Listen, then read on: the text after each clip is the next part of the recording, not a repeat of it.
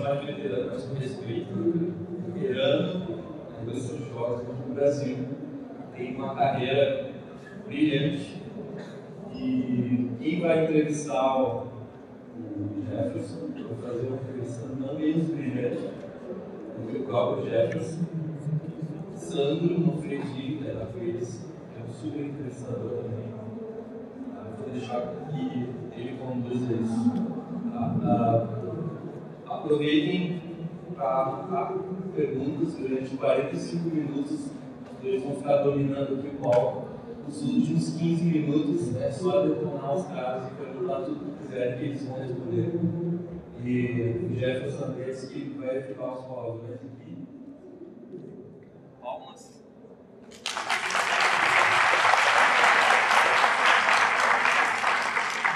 Peço, desculpa antecipadamente pelos palavrões. Temos dois veteranos aqui, um veterano da indústria de games e um veterano da vida, porque só quatro anos de indústria, então também estou aqui para aprender. O Christian me deu essa, esse presente de brincar de Soares aqui, só faltando os canecas, e um álcool, né?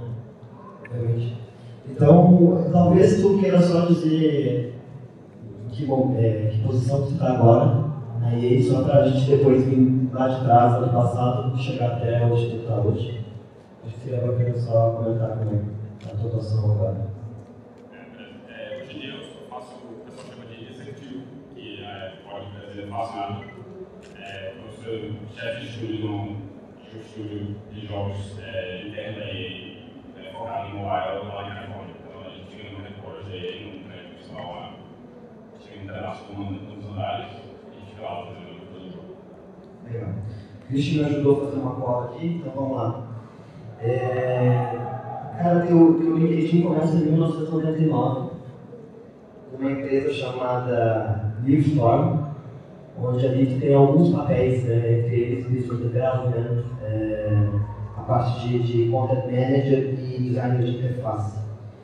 É, queria que falasse um pouquinho desse primeiro começo mesmo e como é que tu chega na Jeans, aí acho que é um capítulo bem importante. Né? Essa é uma história interessante, né? É, eu fiz é, a minha graduação e meu mestrado em Ciência da Computação na Federal de Pernambuco. O professor Gebe é meu orientador aqui na frente. É, e na época, na época da New Storm, a gente tinha acabado de se formar. E aí eu, mais uns, uns outros pessoas da minha turma, a gente queria abrir uma empresa, né? Uma coisa que o pessoal de Pernambuco sempre foi muito bom foi de fomentar o empreendedorismo. Então a gente tinha aula de empreendedorismo, era é, startup, silvemeira. Então a gente sempre tinha aquela gana de tentar montar o seu próprio negócio, né? Então a gente foi, é, a gente montou a Newstorm, que era uma empresa de content management, que é, é publishing para páginas web, né? Isso é um ano antes da bolha explodir, basicamente. É, a gente fez tal, o Silvio, o Silvio Meira, inclusive, era um dos sócios. E Silvio era o sócio que vendia o produto e a gente era o sócio que fazia o trabalho, né? Ele, é, a gente mal tinha acabado de abrir a empresa, tinha acho que acabado de escolher o nome. Aí Silvio voltou de uma viagem de Brasília e falou: já vendi o primeiro software. A gente, peraí, para quê? Ministério da Ciência e Tecnologia é, para fazer o site deles. Uh, ok, para quando? Ah, ele, quatro meses. Pô, nem começou a fazer o negócio ainda, quatro meses. Oh, não.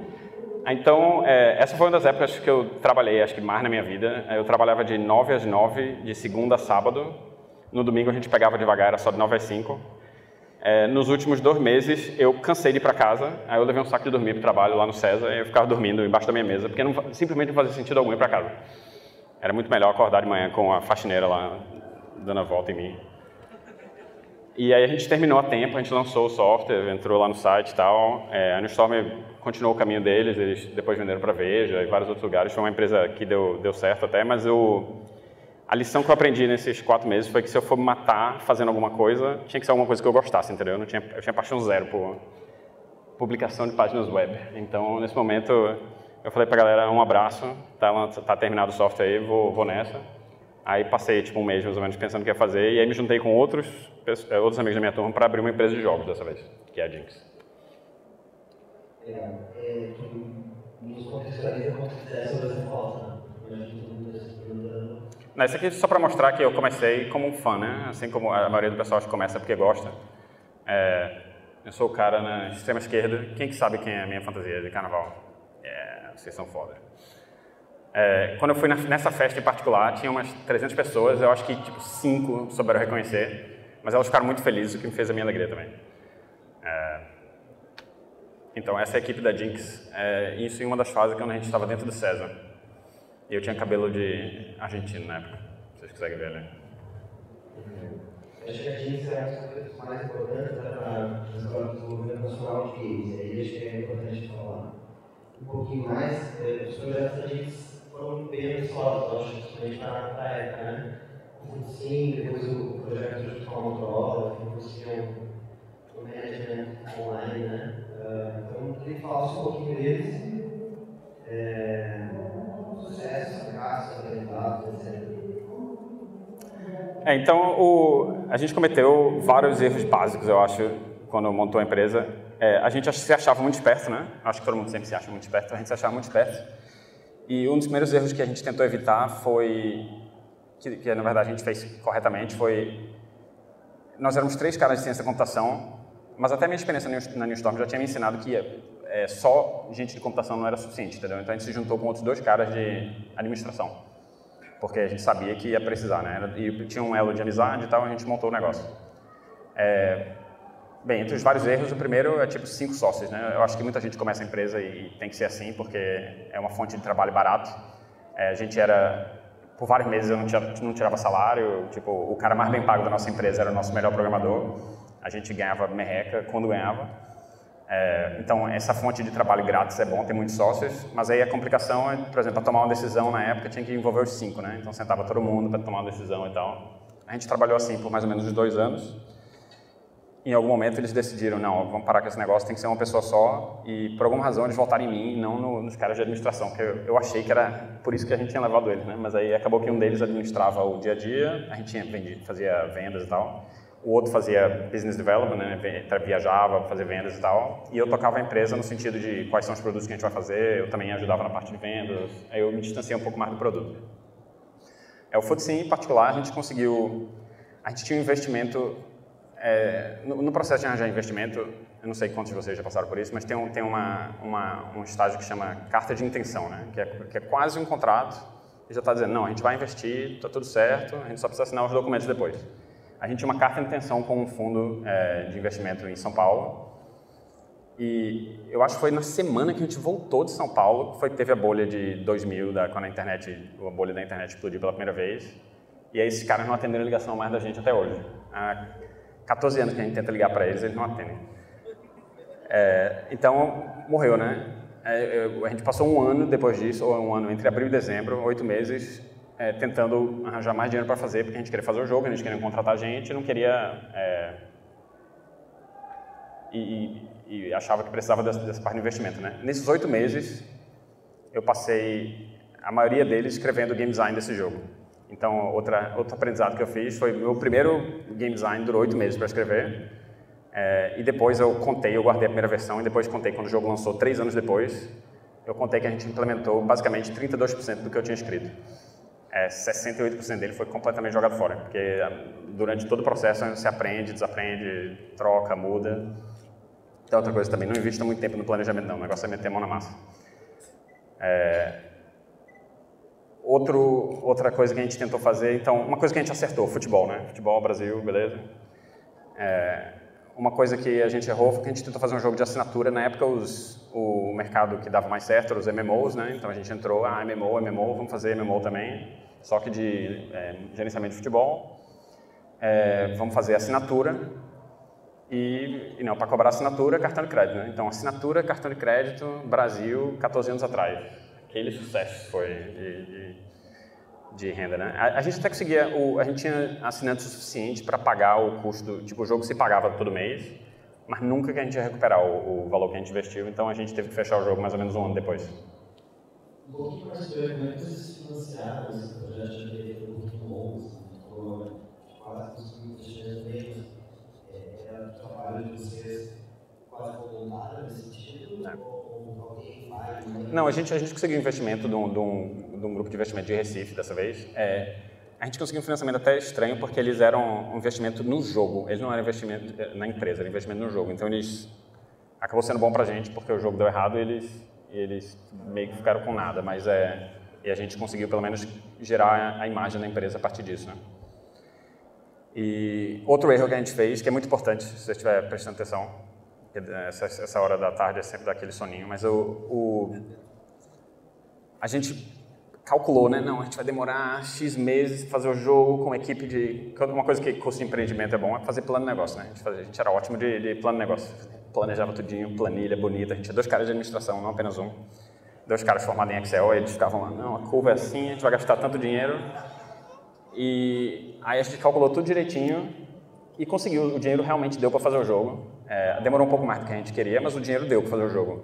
A gente só esqueceu do, detalhe que quando você termina o jogo, você precisa vender e você precisa mostrar para outras pessoas e marketing e todas essas coisas. A gente tinha absolutamente zero dinheiro guardado para isso. Então, quando a gente lançou, a gente teve que correr atrás de parceiro e tal. Foi outra, outro problema que eu acho que teve foi a gente não, não se planejou nisso. Ou seja, não aprendeu ainda de 10 anos atrás. Não, hoje em dia é um pouco melhor, mas... É um pouco melhor, né? É, desenvolver só a primeira montanha. Exato. A gente está, estou falando um pouquinho do Star Hero, que vocês querem falar, que é um projeto de parceria com a Motorola. Até que isso talvez seja uma, uma modificação um pouquinho no modelo de negócio, é, o Futsim, Futsim foi o jogo que, que gerou a empresa, sabe? Acho que muitas vezes, pelo menos no nosso caso, esse era um jogo que a gente queria fazer, né? Eu e Sila, que eram os outros sócios, a gente era doido por Championship Manager. Até hoje eu jogo. É, se eu mostrar meu computador aqui para vocês, vocês vão ver que o Football Manager, a última versão que saiu semana passada, está rodando no background. É, eu jogo esse jogo todo ano quando sai, etc. Então eu sempre gostei desse tipo de jogo, então por isso que a gente quis fazer, né? Da, um dos atalhos que tem para você desenvolver um jogo que acabe sendo mais ou menos bom é você ser um jogo que você se interessa, né? Porque você não precisa se preocupar em entender o consumidor, porque você é o consumidor. Então a gente tentou fazer isso e a gente achava que ia ter mercado suficiente no Brasil, né? Eu não, não sei se, se ia ter ou não, principalmente naquela época, mas é, é isso foi o que a gente tentou fazer, fazer um jogo que a gente queria fazer, entendeu? O, no caso do Star Hero, e, e, muito tempo depois da Jinx, depois do, do, do é, o que a gente fez foi muito jogo, é prestação de serviço, né? Então a gente era projeto para Motorola, era Advergame para agência Clique em São Paulo, a gente trabalhava com todas as agências de publicidade. Eu, eu viajava para São Paulo toda semana, toda semana não, mas tipo, todo mês, por uma ou duas semanas pelo menos, para vender esses projetos que é uma vida meio ingrata, né? Porque você está sempre colocando, colocando dinheiro, trabalhando, mas no momento que você para de trabalhar, o dinheiro acaba também, né? Então, o Work for Hire, ele é legal porque ele viabiliza a empresa, mas ele é, é perigoso porque ele põe você numa, numa esteira que talvez nunca acabe. A gente está chegando, se eu estou certo na história, eu comecei em 2005, final de 2004, final de 2005. E aí, nessa época, um dos fundadores da Games, né? É legal colocar essa perspectiva também, essa, como é que te direção príncipe. Essa história toda ela passa um pouquinho pela da empresa e pela tua carreira também, né? Então, apesar de ter toda essa coisa de criação de jogos, de efeito design dos jogos, também tinha um outro, um outro lado que ia por negócios e até por uma associação. É. é uma coisa que eu sempre, é, eu não sei, não sei exatamente porquê, mas eu sempre fui, eu sempre tive muito interesse também de tentar fomentar não só para a gente, mas para outras pessoas, né? É, e, e, e, sempre era curioso em tentar achar as outras empresas que estavam fazendo jogos. Descobri o Christian aqui em Porto Alegre, a gente trocava contato e tal. É, várias pessoas. No começo tinha muito pouca gente mesmo e hoje em dia tá é, é, da água para o vinho a diferença. É, e eu sempre tentei fazer o pessoal, vamos se unir, né? Porque o mundo já é difícil o suficiente, vamos tentar trabalhar junto, não é como se a gente estivesse competindo, vamos, vamos cooperar o máximo que der. É, o pessoal da IGDA hoje estava falando ali na, na, palestra que o primeiro capítulo foi formado em 2006 ou 2008, eles falaram. Não foi, foi em 2003, eu que fundei. A gente chamava Capítulo Brasil na época, porque eu não quis tentar manter o negócio em Recife. A gente fez reuniões em todo o país na época, a gente viajava, fazia reunião em São Paulo, fazia reunião no Rio. É, era uma das formas que eu achei de tentar começar. É, o Abra Games foi outra forma, que era uma forma no, no sentido de tentar mais do, lado de, do ponto de vista das empresas, entendeu? Porque dá para ver que o governo, na época, se vocês acham que o governo não se interessa com jogos, tipo, imagine 14 anos atrás, ou 13 anos atrás, né? É, a gente percebeu que não ia conseguir ter esse diálogo se fosse cada empresa separada. E mesma coisa com é, imposto e, e, conversar com a Sony, e, que na época a Sony era proibido fazer jogo de, de, de você não podia ter o hardware da, da Sony para fazer jogo aqui no Brasil, etc. Então, é, a, gente, a gente tinha que se unir, entendeu? Essa também era a minha perspectiva, é, vamos se unir, e foi com isso que a gente tentou fazer a Abra Games, em, acho que em 2004, acho, né, que começou. Lembra mais alguém que ainda Está no mercado ainda? Bem, o Fred, meu sócio, ele estava lá também. O, o Ale Machado, como você falou, ele está ali. O Ale anda na linha entre o cinema e a, e a animação e os jogos, etc. Quem mais estava no primeiro grupo? Nem lembro, mas é, muita gente ficou no caminho. Então, acho bem bacana botar em perspectiva a história do desenvolvimento nacional, então acho que é sempre bom olhar na, taça, quem já passou por alguns problemas. Então. Uh, e aí começa a carreira internacional. Faz sentido? Faz sentido. E como é que foi isso? Buscou, apareceu? Como é que escolheu começar? É, bem, a razão principal pela qual, é, depois de passar muito tempo na, na, na Jinx, eu é, como era basicamente fazer, eu fazia só business, entendeu? Eu só fazia vender, vender, vender e eu fiquei longe dos jogos. Eu achei que não estava aprendendo o que eu queria aprender. É, no caso da GDC, eu tinha ido para a GDC em 2001. Eu conheci um cara da Finlândia é, que trabalhava na Nokia na época e aí depois ele foi para o estúdio de jogos e na época eu estava procurando sair no exterior. Eu é, porque eu achava que não tinha outra oportunidade para mim aqui, porque assim como alguém mencionou ontem em Porto Alegre, ou você trabalha para Aquiles ou você tem sua própria empresa, né? Então, na época, era basicamente isso. Eu já tinha minha própria empresa e, e por exemplo, eu até iria trabalhar para o Christian, mas ele não tinha dinheiro para pagar, então não, não, não tinha emprego para mim. Então, é, eu tive que ir para fora, né? Foi meio que, se eu quisesse continuar aprendendo, eu tinha que ir para fora. Foi essa a, a, coisa que eu tive que, a coisa que eu percebi. E aí apareceu um contato numa feira, acabou virando uma entrevista e eu acabei indo. Achei que a Finlândia é um negócio que os brasileiros se adaptam muito bem à Finlândia, né? Como vocês podem ver aí. Eu estou em cima de um lago que está congelado, meu momento de Jesus andando na água, e o frio, eu percebi que quando o frio baixa de menos 5, meu nariz dói, aí eu preciso usar o, esse, o cachecol no nariz. Luvas, etc. Todas as coisas que eu nunca precisei descobrir. Quando eu, eu sou carioca, mas eu morei no Brasil inteiro, morei em Belém, morei inclusive aqui em Porto Alegre, né? é, minha irmã nasceu aqui. E mesmo assim, nunca precisei aprender essas coisas, né? Só aprender lá mesmo essa época tem uma passagem bem pela Cinemaware, isso. Onde? Cinemaware. Ah, sim, a Cinemaware foi antes de sair, né? É, o Cinemaware foi o Lars, eu não sei quantos de vocês conhecem o Lars, Lars Batista, é irmão do Wake Batista. Ele comprou uma marca americana que chamava Cinemaware, que fazia jogos nos anos 80, e ele queria montar um estúdio no Rio, é, que era o pessoal da Ignis, ele basicamente juntou o pessoal da Ignis na época, e aí me chamou para montar, tocar o projeto e tal, montar o negócio lá.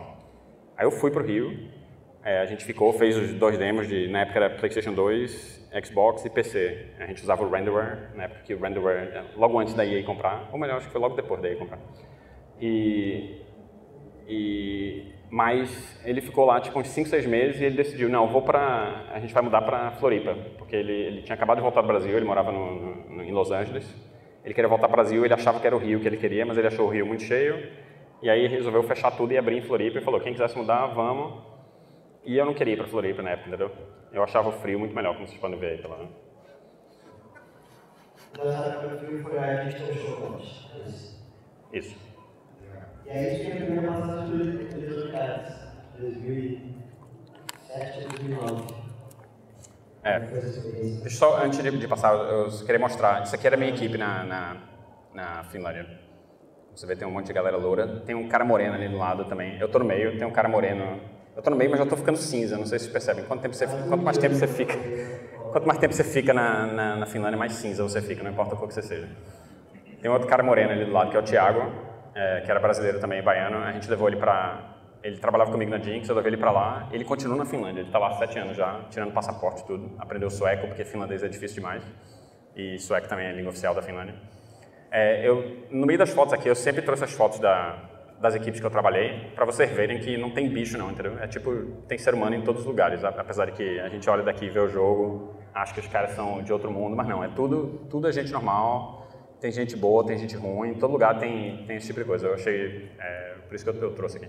Isso aqui, na verdade, foi uma, essa foto foi uma formal Friday que a gente fazia, né? Tinha aquela brincadeira da sexta-feira casual, a gente fez, como todo, como todo dia era casual, porque era um estúdio de jogos, a gente fez a sexta-feira formal. Aí, por isso que a gente tirou essa foto aí você falar um pouco sobre isso, podia comentar que a Finlândia não está com esse nível de desenvolvimento de games à toa, né? Exato. É, exato. É, por exemplo, nessa época eu trabalhava com celular, né? Isso era 2005 a 2007, a época que eu estava na Finlândia. É, quase todo mundo que está nessa foto ainda está na área de jogos. É, esse cara que está à minha esquerda segurando o, o, o, prêmio que a gente ganhou é um dos fundadores da Supercell. o diretor de criação deles. O cara que está sentado do lado dele é o diretor de criação da EA em Helsinki. É, o cara que está em cima desse, dele, do lado esquerdo dele, é o gerente da Next Games, que é a empresa que acabou de pegar os direitos do Walking Dead e tal. O cara que está mais na esquerda ali com, com tênis vermelho é um dos artistas que a gente tinha, que também é um dos fundadores da Supercell. Então, basicamente, todo mundo que fundou a Supercell está aí. É, tem um monte de gente que está na Rovio, Remedy, todas as empresas lá finlandesas. A maioria da galera trabalhou junto nesse lugar. É, eles começaram, tinha esse, esse, eles já tinham o lado de celular por causa da Nokia, né? Então já tinha cultura, já era parte da cultura deles, da cultura de tecnologia deles ter esse lado de celular. E não é, não é por coincidência que esses caras deram certo no mundo, entendeu? A Finlândia não foi coincidência não, é porque eles já tinham, eles já faziam esse trabalho há muito tempo. Agora, quando países, tipo, de falta o aeroporto, É, e aí ele foi criar, acho que é para falar um pouquinho disso, né? É, a EA... E é... ele falou de uma, talvez uma primeira experiência com o mercado bilionário, é, uma das coisas que, que eu fiz quando eu estava na, na Digital Chocolate, a gente fazia muito jogo de original IP, né? Tipo, jogo de marca é, do zero, assim, basicamente. Um dos jogos que a gente fez, que se chama esse Tornado Mania, eu fui o, o produtor dele, é, a gente deu a, uma mistura de sorte e habilidade de o cara da IGN adorou o jogo da gente. A gente conseguiu, a gente foi o primeiro jogo de celular ever de conseguir tirar uma nota 10 na IGN. Então, tipo, eu lembro, eu lembro até do, não pode falar de álcool, né? Eu lembro da celebração que a gente fez e no outro dia o cara que era o diretor de criação, aquele cara que eu mostrei para vocês, ele quebrou o nariz essa noite, foi ótimo. É, mas esse jogo acabou me dando um certo cachê, assim, sabe? Porque o pessoal ouvia falar na época, todo mundo falava do jogo, ah, o jogo tirou 10, o jogo tirou 10, e meu nome acabou parando na mão de um headhunter lá da, da EA, e os caras entraram em contato. É, acabou que foi, o timing foi bom, porque a Finlândia, apesar de ser muito agradável, como vocês viram pelas fotos, é, no inverno, o frio é meio óbvio, mas a parte que não dá para perceber é a escuridão, né? No, no, no inverno em dezembro, no auge do, do, inverno, o sol se nasce às 10h30 da manhã e se põe às 2h30 da tarde, em Helsinki, que é o lugar mais sul da Finlândia, né? Se, se eu morasse mais para o norte, ia ser pior ainda. Então, todo dia de manhã eu acordava preto, ia para o trabalho, é, chegava no trabalho, saía para almoçar, pôr do sol, aí voltava para o trabalho, trabalhava, saía, preto. Isso por tipo, uns 3, 4 meses. Obviamente, no verão, é, compensava, né? É, mas o é, no caso lá que a minha esposa na época, ela ficou bem é, deprimida. Acho que tem uma razão pela qual a Finlândia é o líder de suicídios do planeta. E são duas coisas que eles são muito bons, é celular e suicídio. Mas o... Apesar que suicídio não tem interação, né? O cara só faz uma vez, mas o... É... Pô, ninguém suicidou tá vivo para reclamar de mim, então tá beleza. É... É, Tower Blocks foi outro jogo que a gente fez também, que foi lá. Pronto, e aí eu fui para EA. Então, as fotos estão ficando cada vez menores. Acho que à medida que a tecnologia vai evoluindo e você vai usando camera phone, as fotos vão ficando incrementalmente piores, né? No começo você tirava foto com filme, as fotos eram tudo massa, hoje em dia vão ficando cada vez piores. Essa era a minha equipe, né? Porque eu trabalhava na EA, é, fazendo jogo celular também. E o, é, o maior aprendizado, com certeza, foi trabalhar com marcas you know, é, gigantes, assim, né? Tipo, uma da, um dos jogos que eu trabalhei, essa foto tá meio fora de ordem, mas é, eu trabalhei nessa época, eu trabalhei com FIFA, com Need for Speed, Harry Potter, é, vários jogos da Hasbro, então fiz Jogo da Vida, é, Batalha Naval, League 4, assim, as versões oficiais, né? Com a, com a marca oficial. E e também a experiência de trabalhar numa empresa super distribuída, né? Porque eu, eu era produtor, mas a gente trabalhava com desenvolvedor externo. Então, vamos dizer, o jogo mais complicado que eu fiz era o Need for Speed, que era o pessoal do Need for Speed era em Vancouver, o pessoal para quem eu tinha que mostrar o jogo para ser aprovado no Greenlight e tal era em LA, o desenvolvedor que a gente estava usando era na Austrália, o teste da gente era feito em Montreal, a localização da gente era feita na Espanha, a galera que portava o jogo para as outras plataformas era na Índia, é, eu era na Inglaterra. Acho que é só isso? É. é como resultado, na época eu tinha um BlackBerry, né? Eu não sei quem, quem, quem lembra de BlackBerry, mas era massa que tinha aquela luzinha vermelha piscando quando tinha e-mail. É, minha luzinha vermelha não parava de piscar 24 horas por dia, porque sempre tinha algum escritório aberto na hora, qualquer time zone do mundo, sempre tinha alguém trabalhando. É, eu lembro de ter conference calls uma da manhã, porque era o único horário que dava para a galera da, da Austrália e do Canadá aparecer ao mesmo tempo Aí, no lugar de fazer a galera sofrer, eu, sofri eu, né? Eu ia para a ligação uma da manhã lá em Londres. Lá. É, a experiência de trabalhar realmente numa empresa enorme que não falta recurso, né? Tipo, é, fazer esse tipo de coisa que eu falei para vocês não, não é barato, conseguir essas marcas e tal. É, viajava pra caramba para fazer esse negócio todo, não é barato fazer esse trabalho. É, foi uma experiência realmente interessante, né? Ver isso pela primeira vez. É, aqui no Brasil a gente está acostumado a fazer sem nada. É, na verdade, isso eu acho que é uma vantagem competitiva que o brasileiro tem no exterior, porque em, na Inglaterra, nos Estados Unidos, o povo é muito acostumado a ter as coisas, sabe? Então, quando ele não tem, o povo fica, pô, não sei se dá para trabalhar hoje, porque minha, meu Max expirou, não dá para ter que esperar o IT vir aqui na minha mesa para resolver e tal. Enquanto eu sempre fui, tipo, até na nossa própria empresa, né? Corre, corre, corre, vamos lá, não tem, pega outro, vamos indo, não pode parar por, tipo, o problema é parte do, do, do, do dia a dia, né? É, eu acho que essa atitude que a gente tem de fazer de qualquer, tipo, não importa o que aconteça, você faz, acaba ajudando, sabe? É você progredir lá, porque você é mais proativo, você é mais corre atrás, e eu, eu realmente eu acho que ajudou na minha carreira ter esse, ter esse DNA brasileiro. É, eu até ia caminho assim, porque depois é, eu alguma coisa com pesquisa Survey, aí de novo agora para ele, tive vontade de fazer, ia fazer um pouquinho desse, desse paralelo aí, do que tu viveu o que estaria lá fora, o que, tu vê aqui no Brasil.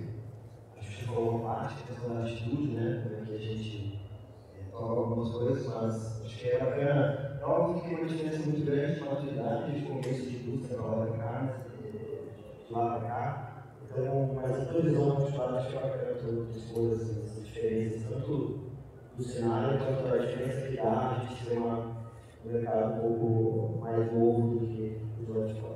É, uma coisa, uma coisa que eu acho que ajuda o Brasil também é, é o fato de que, apesar da gente não ter... O Brasil é um país bem específico, né? Então, ele, apesar da gente estar bem alinhado com o mercado ocidental, a gente tem uma, algumas diferenças, né? É, eu não sei quem, não sei quem, percebeu, quem percebeu isso, mas o, quando, quando a gente estava aqui na abertura, eles estavam colocando músicas, trilhas sonoras dos músicos mais famosos. Era tudo jogo japonês. Eu não sei quem percebeu isso, mas era, não tinha um jogo americano ou europeu.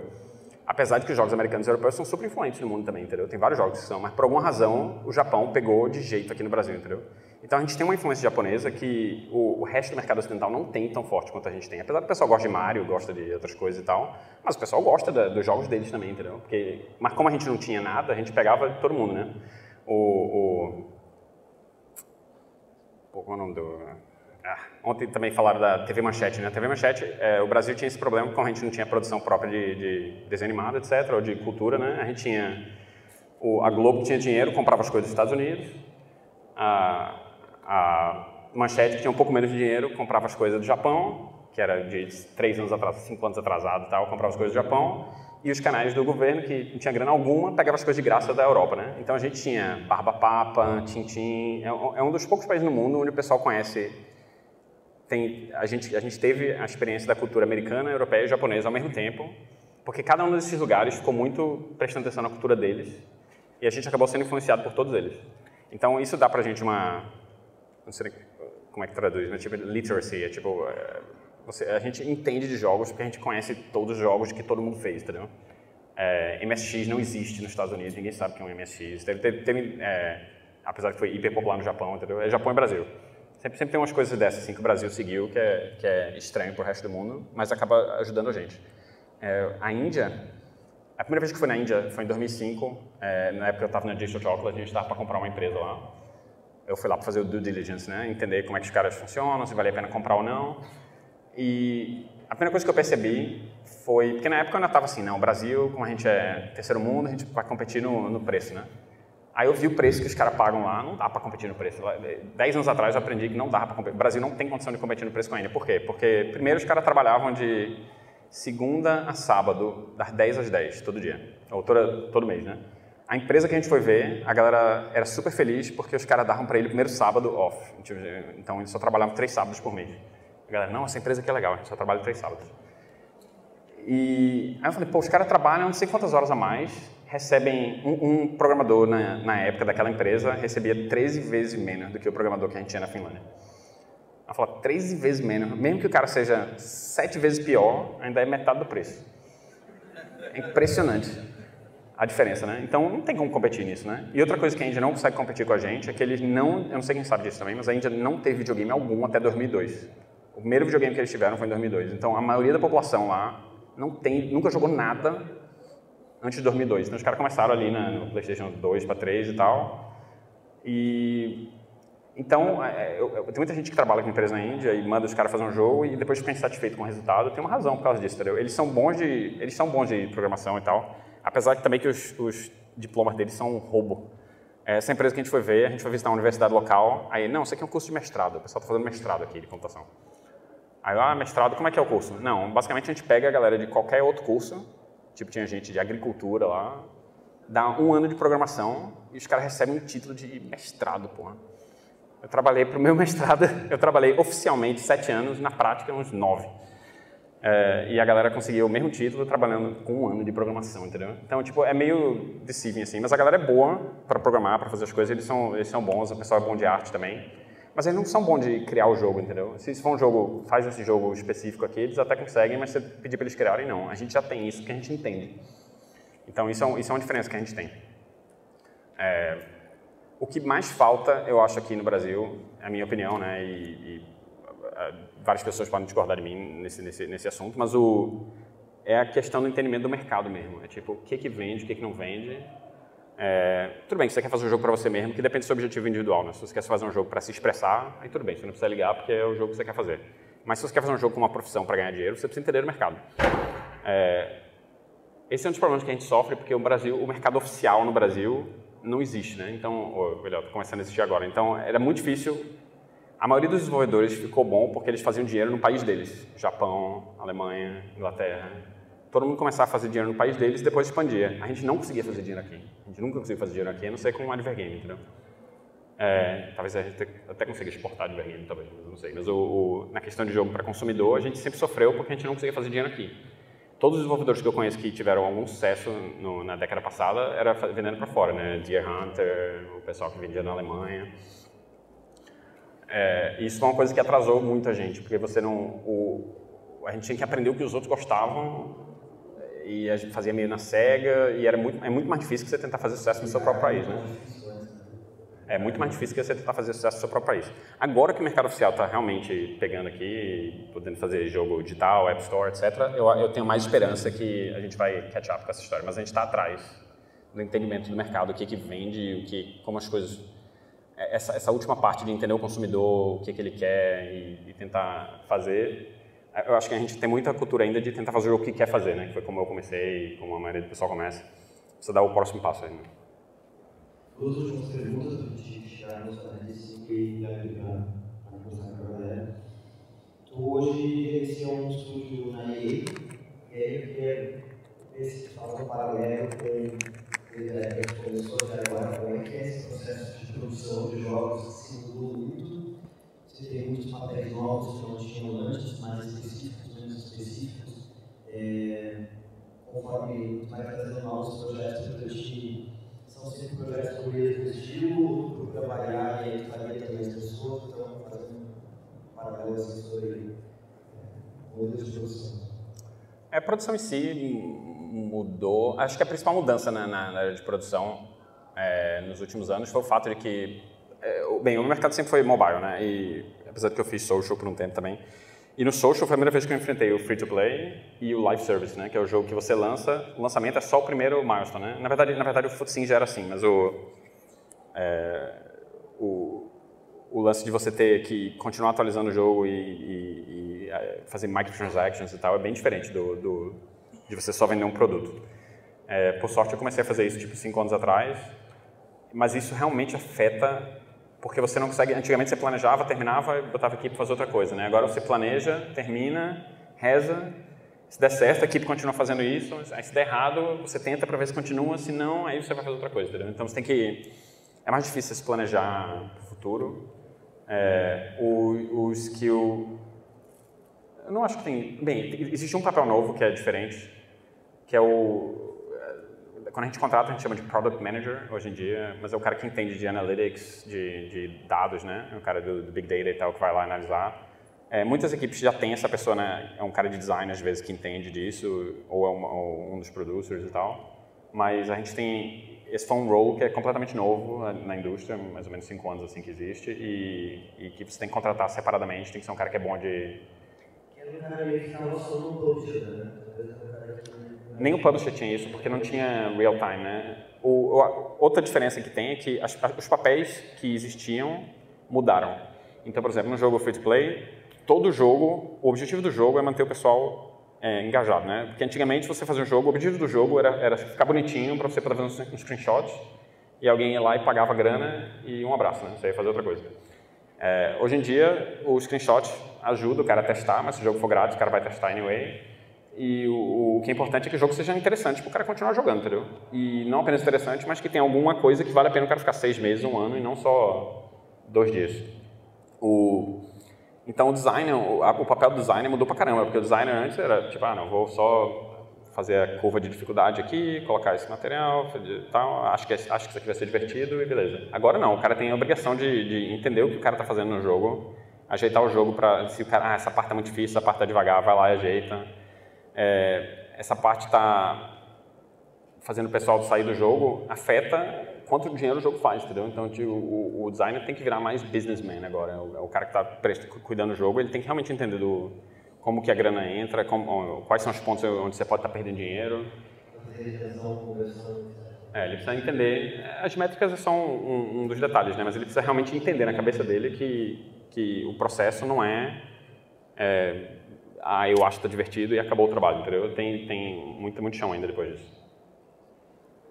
É, olhando para a tua carreira agora, é, alguma coisa que tu teria feito diferente? Sim ou não? E também por que tu pensa no futuro?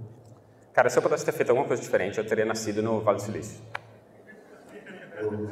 Não, só de brincadeira, mas é, é, a razão pela qual eu coloquei as fotos das equipes aqui né, na, na, opa, eu também coloquei dois momentos nerds aqui, que é coisa legal do cara poder trabalhar na, na indústria, né? Isso aqui, eu não sei quem conhece esse cara do meu lado, mas é, eu encontrei ele numa, numa conferência. É o cara que fez o Metal Gear. Eu encontrei ele numa conferência, eu, puta que pariu, preciso tirar uma foto. Aí na época eu tinha o meu BlackBerry, que era uma merda pra tirar foto. Aí, eu preciso tirar foto. Aí o assistente dele pegou, o assistente tradutor dele pegou lá, não, vou tirar foto aqui. Cadê o flash?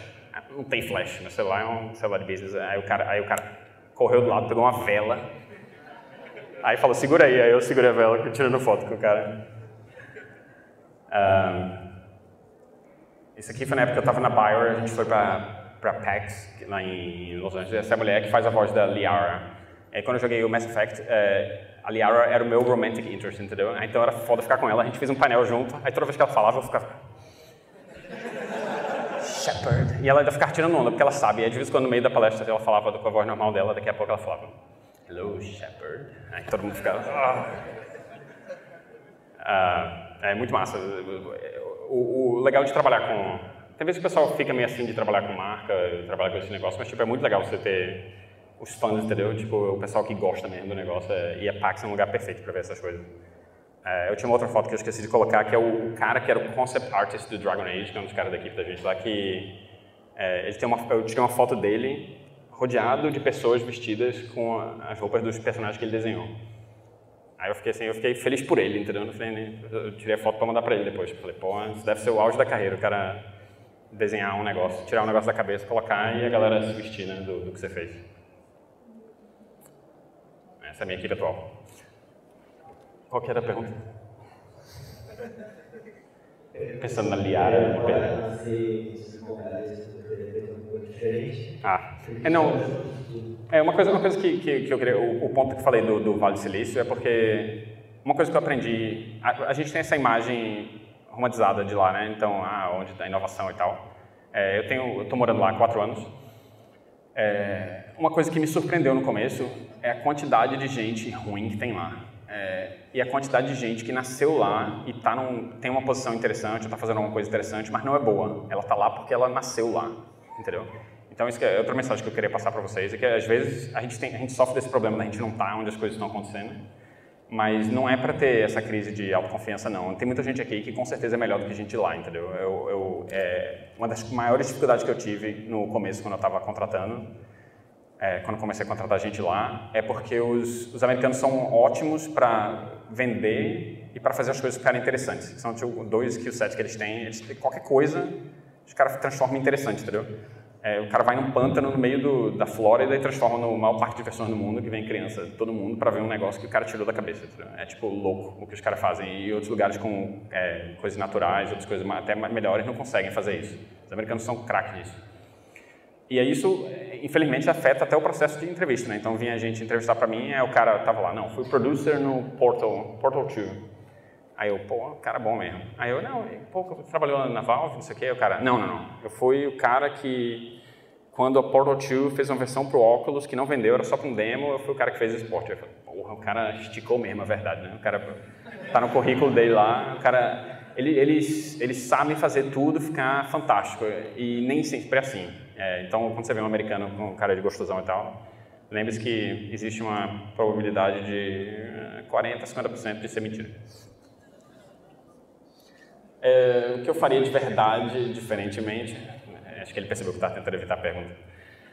É, cara, não sei se eu mudaria nada não. Eu sou, eu sou, eu sou fã daquela história de que o que você fez faz o que você é e é difícil de separar as duas coisas, né?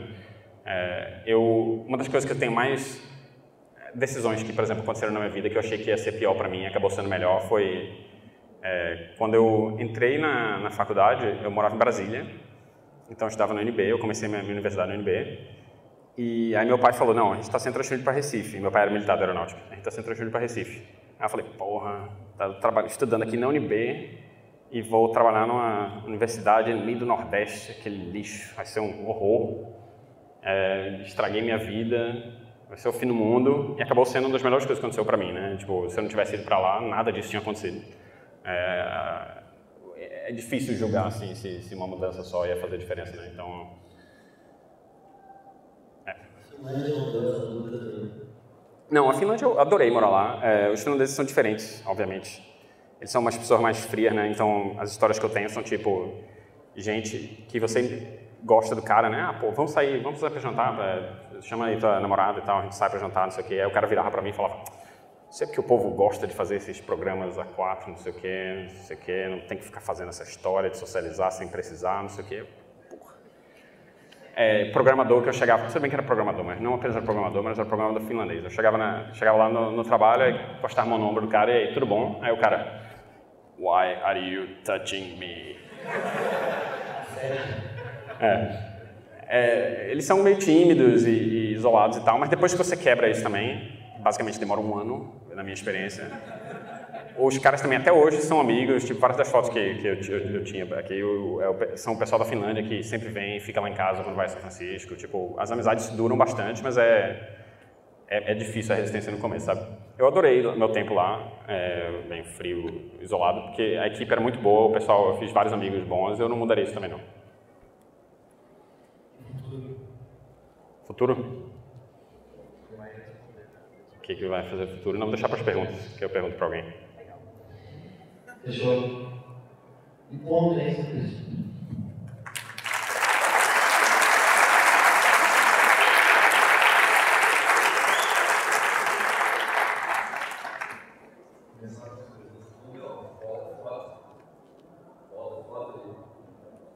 Falar de quem? Trabalho com QID quem? O de verde, de verde. Teste, teste de, de cidadania. Quem, vocês chutariam de onde esse cara nasceu? Quem alguém chutaria aí? Chuta uns países aí. É. África do Sul. Nada. É, é escocês. É uma figura. Você, quando ele abre a boca você percebe, mas é o é, escocês surfista que gosta de rancho. Califórnia é um lugar perfeito para ele. Eu achei que ele gostava de speed metal, alguma coisa assim. Ele gosta de é, Pogues e mais o tipo. Ele gosta de metal também. Na verdade, é, a fantasia dele no carnaval sempre é slash. Ele põe o, o, o top hat e tal, mas ele gosta mais de, de música folk, né? Que entendi.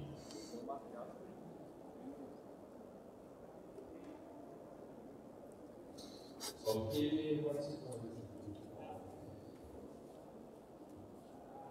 é, eu, eu quero trabalhar exatamente com você falou do management, porque eu sou de marketing, eu tenho muito interesse em saber como que é a vida do executivo no IE, porque eu estou fazendo, fazendo o meu mestrado em games e toda a minha, minha história de educação é voltada para essa, esse executivo de games. Né? E eu estou bem assim, eu estou tentando, já me bati na cara porta, me morei nos já fui na EA, fui na Blizzard, todo mundo. E só fui importado. Então eu queria saber assim, qual dica que você pode dar para mim para tentar, porque assim, me ajuda, já tenho que entender isso tudo, mas é uma filmagem. Peraí, seu, seu interesse é, é para ser Product Manager ou para ser executivo? Porque são duas coisas bem diferentes. É, project manager, na verdade. Project? É, manager. Ah, Project Manager. Porque, como eu tenho formação de marketing, para mim, entender que como pós de games entendo, para mim, é, essa questão de você entender como um projeto é feito, Sei, sei, sei. É, bem, Project Manager, assim, tem bastante. O problema que você vai ter nos Estados Unidos, em particular, é o visto. Porque o, o, o visto para você trabalhar na tecnologia no Brasil é aquele H1B, que tem 65 mil por ano. O timing dele é horrível, porque você só pode aplicar... Você começa a aplicar para ele em abril, ele sai em outubro. Se 65 mil pessoas aplicarem até em abril mesmo, acabou. Então, só tem no ano que vem. Então, eu, eu, eu fui para lá, eu queria trazer gente que trabalhou comigo na Europa, queria trazer gente que trabalhou comigo aqui, e, não, simplesmente não dá, porque, por exemplo, eu preciso de um cara. Precisar de um cara quer dizer que eu preciso do cara agora. Eu não posso esperar um ano. A Microsoft faz bastante isso porque eles contratam engenheiros. Eles contratam 50 mil e não importa quando o cara vem e manda o cara para fazer o que tem para fazer, entendeu?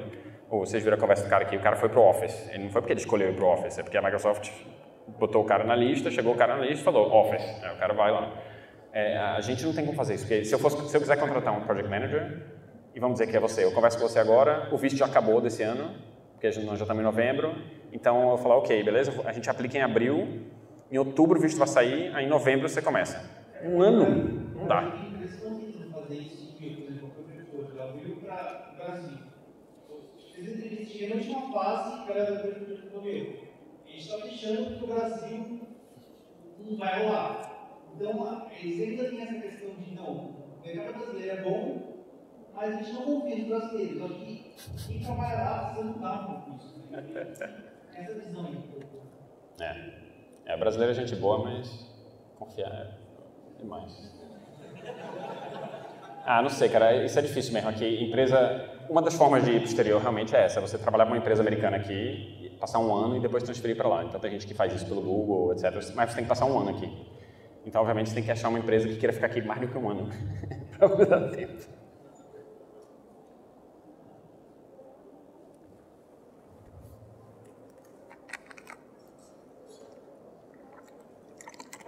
Beleza. Mais uma curiosidade minha, só para entender como eu gosto desse mercado, eu acompanho ele e queria entender do seu ponto de vista como insider, por que ele foi, ganhou o prêmio de pior empresa americana dois anos seguidos, se por um, veículo. Por quê? Cara, Como você o- sente isso? É, se é ruim o quê? trabalhar para ele. É, não, eu- várias pessoas me perguntam, não necessariamente sobre o, o prêmio de pior pessoa do mundo, mas o, o pior empresa do mundo, mas o lance de, de trabalhar, como que é trabalhar na EA, né? A primeira coisa que eu tenho que dizer é, EA, apesar de parecer que é uma empresa só, na verdade são tipo 30 empresas diferentes. É, a, a sua experiência vai mudar muito dependendo de que parte da empresa você está e quem é seu chefe, etc. Então, Então, se você trabalha na Suécia fazendo Battlefield, a sua experiência é uma. Se você trabalha na Inglaterra fazendo é, Burnout, sua experiência é outra. Você trabalha na Califórnia fazendo The Sims, sua experiência é outra. Então, é difícil dizer como que é, a- a- no geral, trabalhar na EA. O lance do, do- da, da pior empresa da América lá, cara, é consumidor moderno, entendeu? É, se você... É, é o equivalente de one-star reviews no App Store, entendeu? A gente fez um...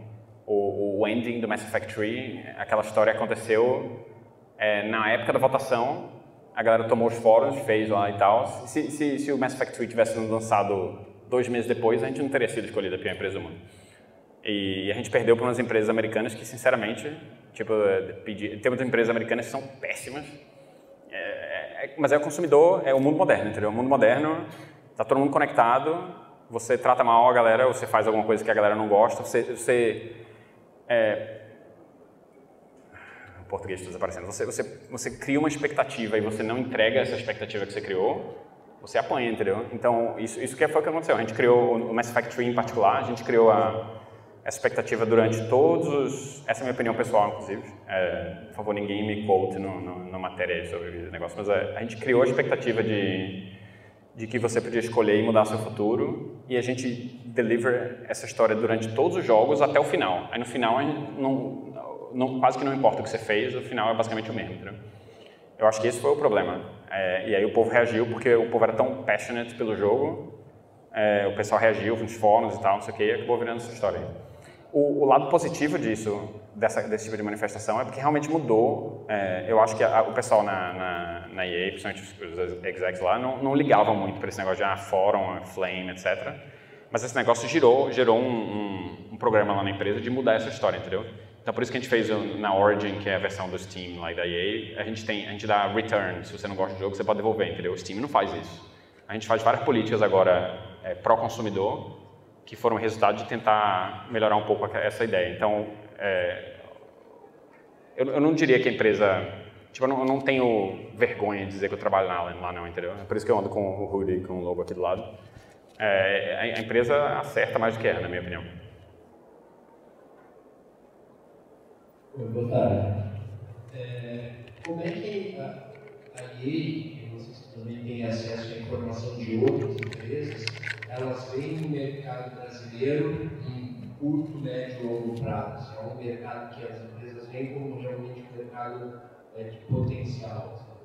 Vê, é, o, o, Brasil por muito tempo não foi, ah, por muito tempo não, não, não existia isso. O, o, Brasil nunca aparecia nos reports. É, a gente sempre recebe os reports lá de o que está acontecendo no mercado, mercado está crescendo, etc. É, nos últimos cinco anos, eu diria que o Brasil começou a aparecer, principalmente por causa do, do mobile e free to play, é, começou a aparecer nas listas. Então, há muito tempo que o português brasileiro, todos os jogos que a gente faz em celular, por exemplo, tem português brasileiro é, desde o começo do projeto, todo mundo já está decidido que tem, entendeu? Antes era escolha, faz, não faz, melhor botar turco ao invés e tal. Hoje em dia não, o português brasileiro é default, assim como tem francês, italiano, é, etc, português brasileiro.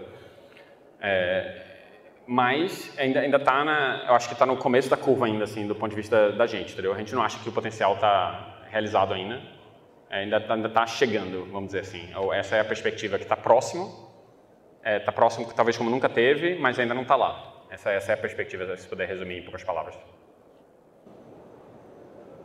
Um, e aí, tudo bem? Meu nome é Gabriel. Eu queria perguntar sobre os jogos premium e premium. Eu não tenho várias publishers grandes como a EA, por exemplo, elas estão lançando jogos premium, a pessoa paga o preço total do jogo, e oferecendo é, jogos que são pagos por microtransactions. Eu acho que esse é o futuro do mercado, isso tem positivo ou negativo Retorno, retorno negativo ou positivo em que sentido? Amanhã, às 9 da manhã, todo mundo aqui, a gente vai falar sobre monetização dos jogos. O Jefferson vai responder esse de pergunta. Não vou deixar responder agora.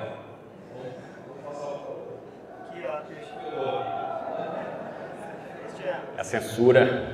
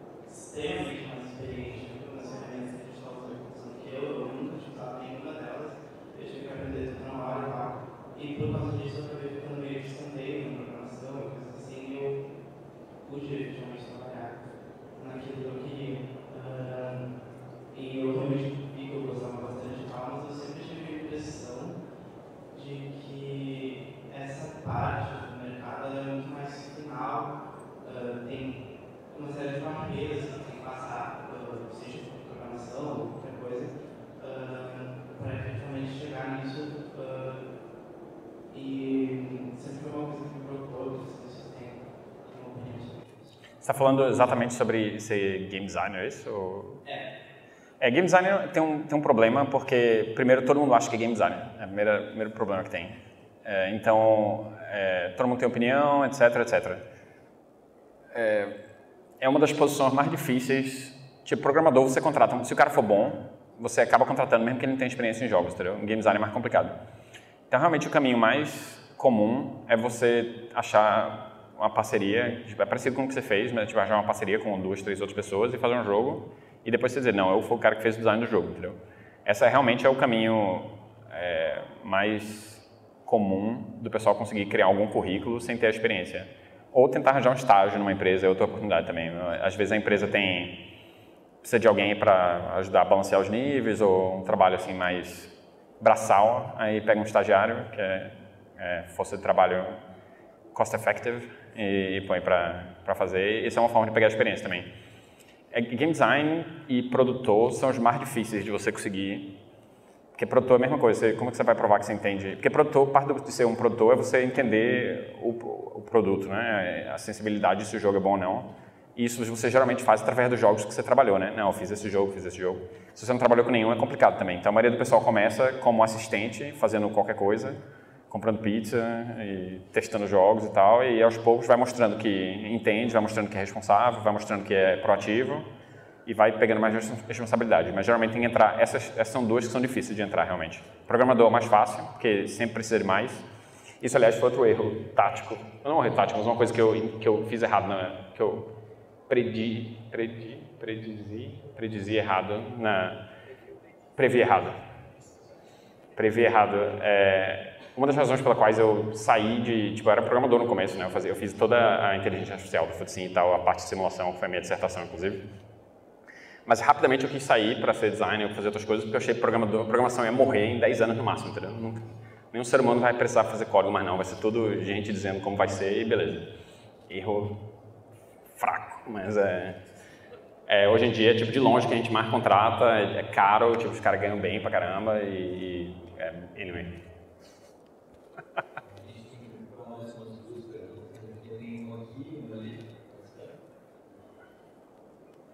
Tá tudo bom? Uh, seguinte, tem algumas perguntas na, na, na área meio de Product Manager e Producer mesmo. E eu queria saber, tipo, como é que você vê que a abertura do mercado, você falou um pouco, né? Mas é empresas para trabalhar com isso, algumas skills necessárias, mais vezes para começar. E ontem, na conversa com o Jeff, uh, sorry, o Richard, ele falou que também um pouco tem que começar com o QA, assim, ah, QA. É, nos Estados Unidos é muito comum, Estados Unidos e Inglaterra, assim, que são os, as áreas mais desenvolvidas, é muito comum o pessoal começar como tester, né? Você vai como testador, porque primeiro que a galera sempre contrata tester, sempre está contratando, é barato, então a gente tem um monte. Então isso é uma forma de você começar a, de botar o pé na, na, na empresa, né? Porque você começa, você joga, e aí a responsabilidade do cara de fazer, achar o equilíbrio entre. Porque também se você entra e começa a dar opinião sobre tudo, os caras, pô, esse teste está falando aí, quem que ele acha que ele é, manda, manda embora. Então você não pode chegar também e dizer sei tudo e etc. Mas tem que ter o, equilíbrio de ser responsável com o seu trabalho e aos poucos ir mostrando, ó, oh, é, você, teria tempo para conversar, porque eu joguei tantas horas e eu achei que poderia fazer mais ou menos assim e tal. É, esse tipo de coisa ajuda também, é, principalmente porque as empresas é, eu acho até pelo fato de que, essa é uma questão de, de, de contratação no geral, é difícil, é, se você tem uma pessoa dentro da empresa que você conhece e gosta, e você sabe se a pessoa é boa ou responsável ou proativa e tal, é melhor você investir nela do que pegar um cara na rua, entendeu, que vai entrando. Então, é, você entrar na empresa realmente ajuda. Muita gente entra na área que dá, entendeu? Então, por exemplo, se você tem formação em em, sei lá, em arte, de repente você entra como um artista, começa pintando as coisas lá e aos poucos vai dizendo, ah, eu quero, quero gerenciar o projeto. Eu conheço vários artistas hoje em dia que são produtos, então, é, vários programadores também. Tem, mas aí isso depende da empresa e tal, mas é, esse é um caminho que várias pessoas fazem. Quase ninguém é, sai direto da, da, sua educação e começa como producer. É muito raro. Fazer uma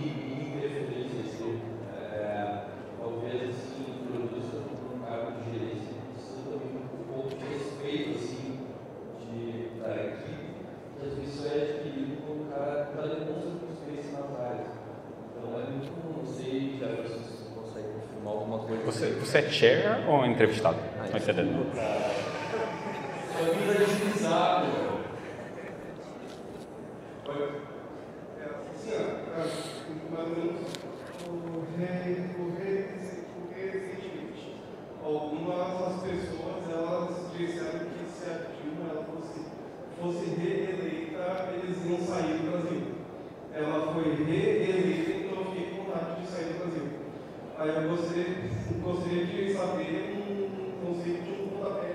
E, e pontapé e inicial, digamos, a, a busca de, algo- de, de algum site, algum, algum, algum emprego que seja fora do Brasil. É, o, o- a melhor forma que eu acho hoje em dia, é, bem, existem várias formas de sair do Brasil. O pessoal do Rio Grande do Sul tem vantagem é, desonesta porque a maioria já é descendente de italiano ou alemão e tem passaporte europeu. Isso é uma vantagem enorme. É, se você tem um acesso a um passaporte europeu, é um bom caminho. Se você não tem, casa com alguém, é outro, outra opção. Geralmente as pessoas desse- desses países são bonitas, então não, é- não vai ser tanto sofrimento. Mas é, pegue bem, menos alemães, eu acho. Mas é, pegue, pegue os, o, o, o diploma ajuda pra caramba na Europa, porque você consegue trabalhar em qualquer país. Então você consegue trabalhar na Inglaterra, na França e tal. Isso abre pra caramba. A segunda, a segunda coisa que você tem que prestar atenção é focar na, no que você é bom, entendeu? Então se você tem experiência demonstrada em uma certa coisa, mesmo que não seja jogos, é, vê se isso se aplica a um jogo e tenta entrar por ali. Não tenta é, entrar por uma área que você não tem experiência alguma, porque o pessoal não vai nem olhar seu currículo, entendeu? É, o, o, o- então, a- o, o lado do trabalho. Bem, se você não tem acesso a passaporte nenhum, é complicado, foi o meu caso. É melhor você construir a experiência aqui e aí tentar. Mas se você tem acesso ao passaporte, você pode tentar ir de cara já, porque o passaporte, o, a, a permissão para poder trabalhar é realmente uma barreira grande para a gente lá fora. Acho que é isso, né, galera? Vamos agradecer aqui Jefferson. Obrigado, galera.